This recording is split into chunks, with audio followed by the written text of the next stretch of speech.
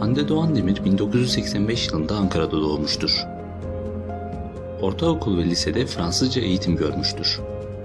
Ankara Üniversitesi Dil, Tarih, Coğrafya Fakültesi Sosyoloji bölümü mezunudur. İletişim sosyolojisi üzerine çalışmıştır.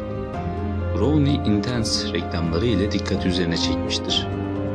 TRT'de yayınlanan Şubat dizisinde ve Kanal D'de yayınlanan Güneşi Beklerken dizisinde başrolde yer almıştır. Bunun haricinde Keskin Bıçak, İbreti Ailem ve Kahramanlar gibi dizilerde oynamıştır. 2011'de Hatırlar mısınız adlı programda 2 yıl sunuculuk yapmıştır. 2013 yılında Leyla ile Mecnun dizisinde tek bölümlük Şans karakterini canlandırmıştır.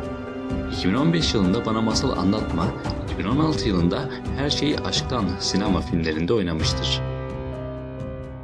3. Ege Üniversitesi Medya Ödülleri En İyi Kadın Oyuncu Ödülü ve 5. Ayaklı Gazete Televizyon Ödülleri En İyi Gençlik Dizisi Kadın Oyuncu Ödülünü almıştır.